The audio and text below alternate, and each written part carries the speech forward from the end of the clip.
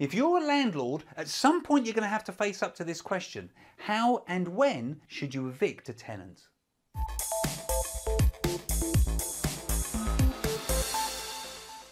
Hi, my name is Tony Law from Your First Four Houses. And my channel is all about helping you achieve financial freedom through property. If this is your first time here, be sure to subscribe to my channel and also click the bell notification icon so that you don't miss out on anything. So this is part of a six video, series that I've put together for you, all of which is designed to help you find and keep the very best tenants in your properties. And I've broken it down into six different lessons for you. You've got demand, advertising, viewings, referencing, retaining, and sadly this one is all about removing tenants from your properties. Because if you are a landlord, Unfortunately, you are going to have to face up to this sooner or later. So I wanted to give you a few tips and tricks on this to help you. Now, the first thing I want to say to you is this. Try to see all sides of the situation. Never forget these are your customers. I know you know that already, but they are your customers. You should be firstly looking after them as your customers. And if you go in with the attitude that you're going to really try to see this from their point of view, you may well discover that they are absolutely in the right. In fact, if they've got any issues with something that you've done and you're in the wrong, well, frankly, this is the end of this conversation. You need to correct whatever it is that you've done wrong. But I'm sure that isn't the case. Just try to see it from their point of view firstly. Now, sadly, sometimes you will find that you've got a rotten apple in your HMO. I've had this, I'm sure any uh, established landlord has had this before.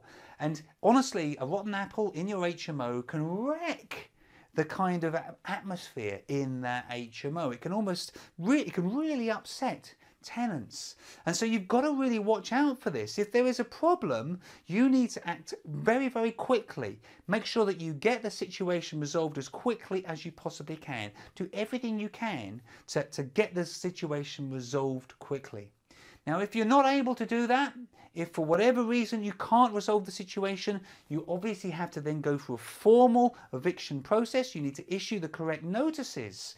And I'll put some links in the box below that will talk to you all about how you can do that. But you've got to do this properly. You've got to issue the correct notices to get that tenant out in the correct legal way.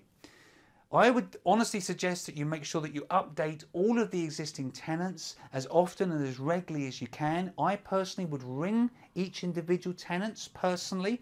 Don't put anything onto a WhatsApp group or anything like that.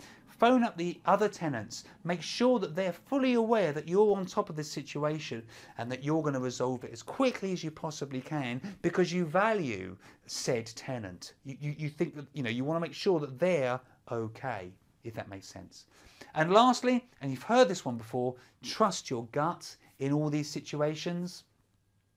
Don't listen, this sounds wrong maybe, but don't listen to the, some of the sob stories that, they, that the, the troublesome tenant might be dishing out.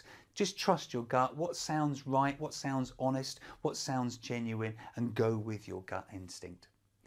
I really hope you found that helpful. In fact, I hope you found the whole of this series helpful and I'd welcome any comments that you may have in the box below. This has been all about helping you find and keep great tenants in your properties. If you enjoyed this, be sure to subscribe to my channel because I've got a ton of other content that I'm looking forward to sharing with you and I've got a couple of other videos you may well find helpful. My name is Tony Law from Your First Four Houses and I look forward to seeing you in the next video. Thank you.